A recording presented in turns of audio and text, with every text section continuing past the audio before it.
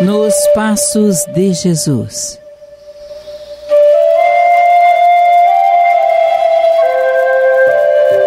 A mensagem que levamos ao seu coração hoje está registrada no livro de Tiago, capítulo 2, versículo 17, e tem o seguinte texto: Assim também a fé, se não tiver obras, está morta em si mesma.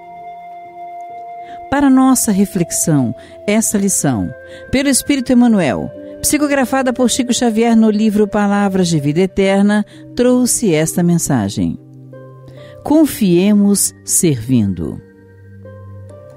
Asseguras o mérito da semente, valorizando-lhe as qualidades. Mas, se alguém foge de plantá-la, todo o teu esforço verbal terá sido vão. Gabas-te de possuir primorosos talentos artísticos. No entanto, se não trabalhas por expressá-los, descerás fatalmente ao ridículo diante dos que te ouvem. Esboças valioso projeto para o levantamento de largo edifício. Entretanto, se não promoves a construção, os teus planos, por mais belos, estarão relegados ao mofo. Confias plenamente no credor que te emprestou recursos determinados. Todavia, se não pagas a dívida, serás levado à insolvência. Apregoas as vantagens de certa máquina, mas se ninguém experimenta os mecanismos na atividade, o engenho, por mais precioso, acabará esquecido por traste inútil. Assim também nos assuntos da alma.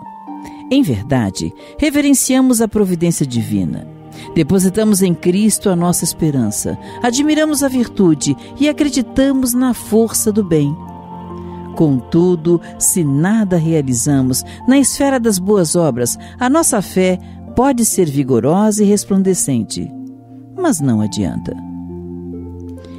Se você gostou desta mensagem e ela de alguma forma tocou o seu coração, você poderá ouvi-la novamente visitando o site www.radioriodejaneiro.am.br e nossas redes sociais.